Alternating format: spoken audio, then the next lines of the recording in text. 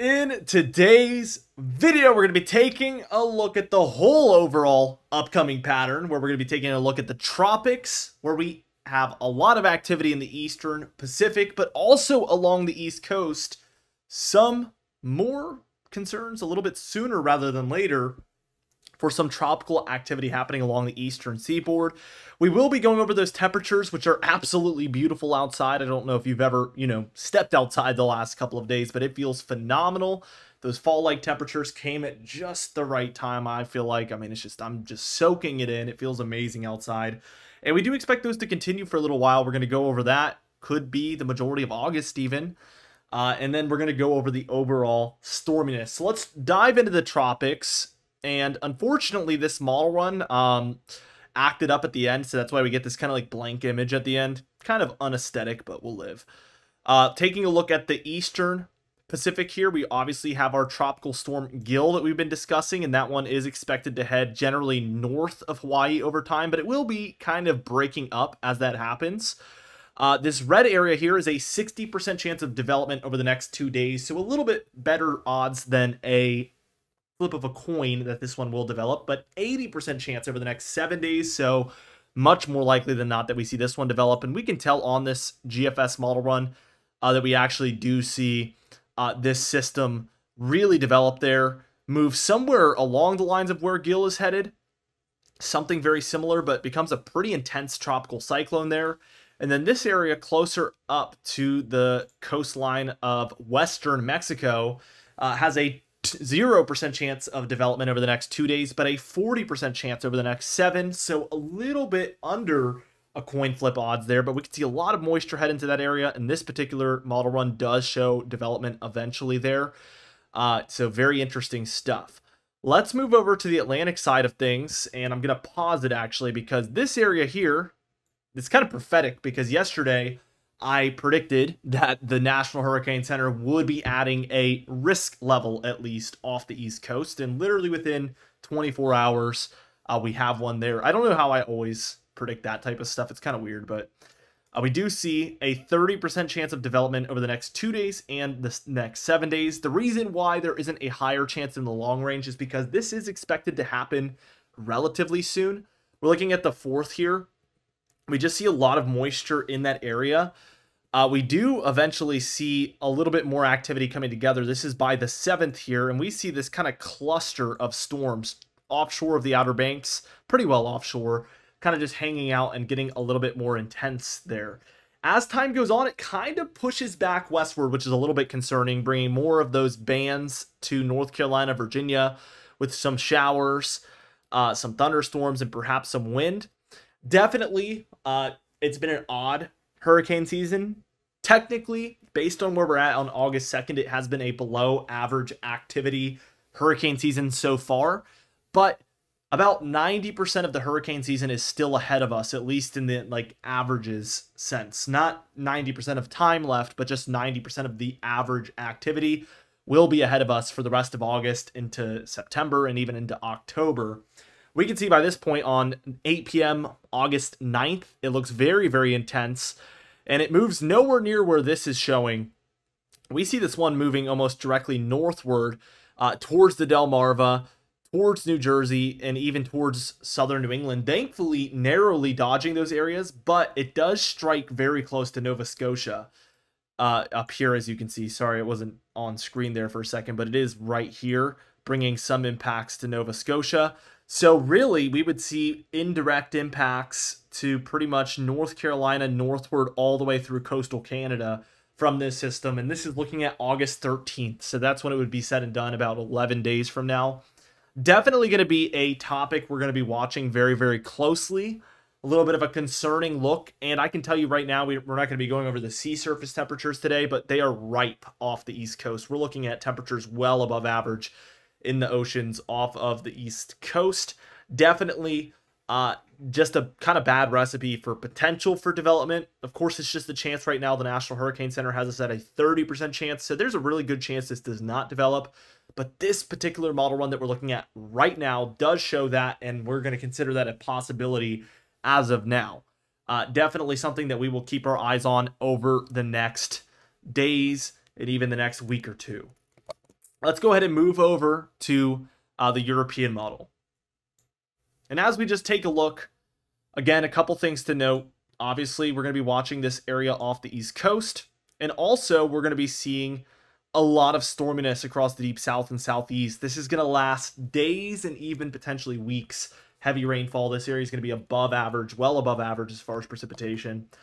Let's keep watching this play out. This is as we move towards tomorrow on Sunday. We do see a little bit of lower pressure trying to get going there, well offshore of North Carolina.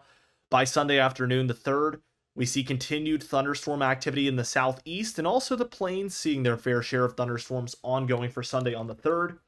As we just keep moving along Monday on the 4th here, uh, we don't see much in the way of low pressure out here anymore. We see a little bit uh, well offshore, but in general, uh, nothing happening yet. We do see kind of continued thunderstorms in the deep south and southeast. I want to keep us going towards Tuesday the 5th, and this is a day where we kind of rebound with heavier precipitation in the southeast than the day prior on Monday the 4th. So kind of up and down with that activity, but it's still just there every single day for the most part. Looking towards Wednesday here on the 6th, again, even parts of the Mid-Atlantic and Ohio Valley getting in on some of these thunderstorms just kind of present in the southeast corner of the nation. Looking towards Thursday here, we see a lot of Virginia, North Carolina, West Virginia here getting the heart of those thunderstorms Thursday on August 7th. Definitely something to think about. Uh, by Friday the 8th, again, we just get these pockets of storminess off the East Coast, but it doesn't look like any of this is going to develop on this European model. So for now, what we're going to be left with, in my opinion, is the GFS model saying yes, the European model saying no, which kind of brings us into a model battle, if you will, where we're going to have to just track these daily, which you know, for the most part, I enjoy those types of things because it's fun to talk about, it's fun to watch, it's fun to try to predict what's going to happen. But when we're talking about dangerous situations like this, it is a little bit um bad. Just I mean not even a little bit. It's it's very bad because people need to know what's going to be happening and if the models are disagreeing, there's huge question marks. Uh, there's definitely a lot left to figure out. Also, I think it's worth noting that there's a ton of activity in the Northern Gulf here anything could pop off at any point in these areas as well. Uh, with that being said, let's move towards Saturday, where a lot of this activity is closer to Florida. Again, nothing's really developed by this point. Sunday on the 10th, similar areas just continuing to see storminess. Again, the deep south, southeast, and pretty much all these areas offshore as well of those similar locations. We once again see the Midwest, plains, and even some of the southern uh, Rockies seeing a lot of thunderstorms and showers around for Sunday on the 10th as well. Here's Monday the 11th. Again, activity very close to Florida, but really for the whole Southeast. Tuesday on the 12th here, very similar with the East Coast. Wednesday, a little quieter, but again, we're looking offshore, and there's just a couple of areas where you could see some low pressure start to develop. Uh, that's going to be the theme through August, I think, and really as we move into September, it's going to become a lot more concerning than that even. Uh, for Thursday, the 14th, off the southeast and along that southeast coast, we have activity. And also for some of the Midwest and Great Lakes here, we're seeing thunderstorms present underneath a pretty weak low there for southern Canada. Uh, this is in the long range, so take it with a grain of salt, at least for specific details. But this is kind of what we're seeing from the model for today.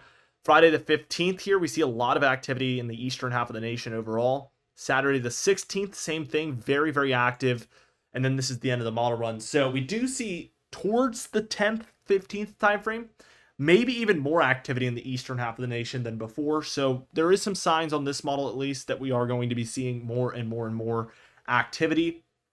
Um, definitely very interesting, something we will keep our eyes on. I wanted to show you something else interesting. This is the European AI and uh, model. So this is basically the way to look at it and i don't even fully understand how, the the components of you know how they built this model if i did i'd probably just make one myself obviously but there is components of the regular european model in this one at least the calculations that it uses and the algorithms and everything like that but it also has ai uh, machine learning included in it so this model constantly updates itself based on how it does with real life situations and tries to constantly improve itself this one has been around for at least six months. I can remember using it in the wintertime a little bit with you guys and going over it, which was very fun and cool to see.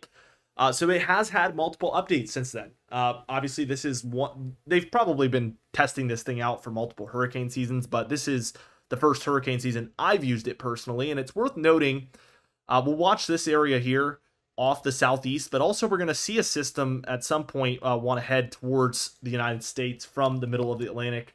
Keep in mind, for the most part, this is an experimental product, so we are looking at it for educational purposes, for entertainment purposes, just because it's fun to look at this type of stuff. It's really cool. And hopefully we can learn more and hopefully this will be a really cool, useful tool in the future. Uh, so we're kind of watching history here. Anyway, with all that being said, maybe we'll get something useful away from it. We do see that system off of North Carolina does develop a little bit there.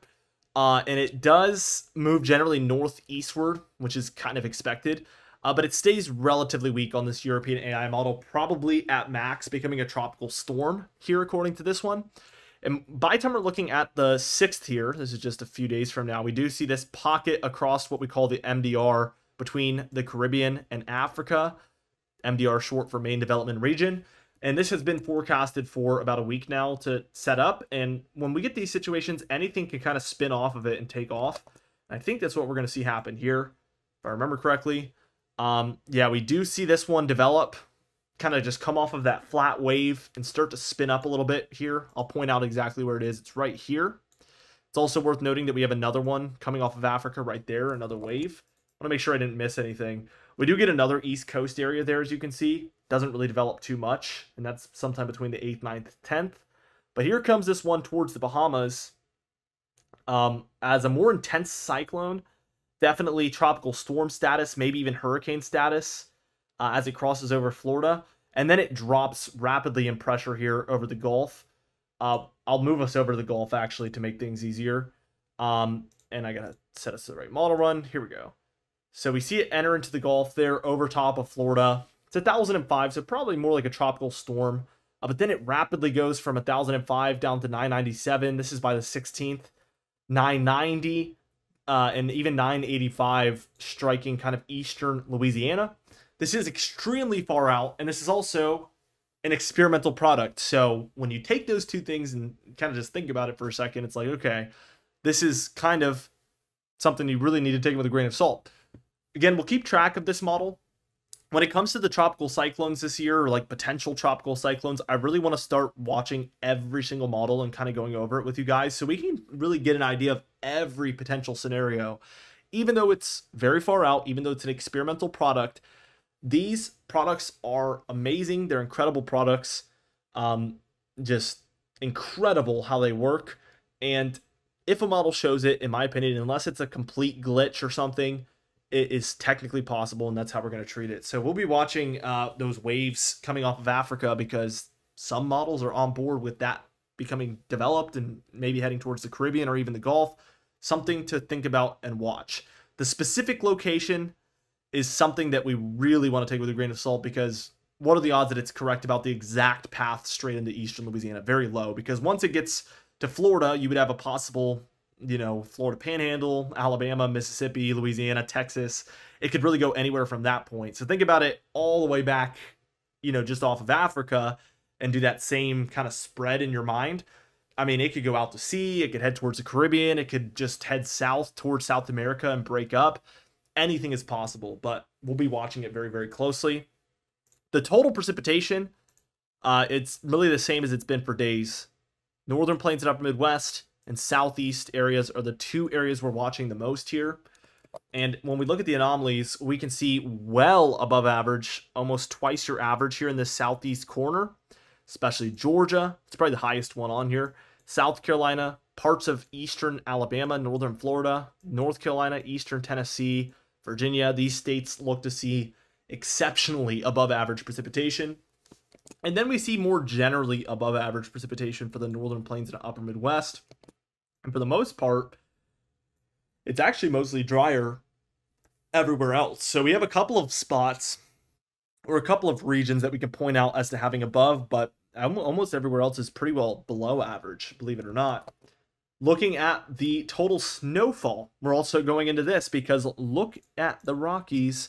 If you look very closely in states like Utah, Wyoming, Colorado, those are actually the only three we do see a little bit of grays popping up, which is perhaps indicating some flakes flying at some point over the next two weeks. maybe a dusting to, you know, half an inch or an inch of snowfall uh, just over the next couple of weeks on the very highest mountaintops. And the reason I'm showing this is because, you know, it's very exciting. It's the beginning signs of the season coming, which is funny because I think in early July, uh, maybe it was late June, but we still had snowfall happening in some of the Rockies as well. So we didn't even get a month off from the snowfall at all, if this is the case.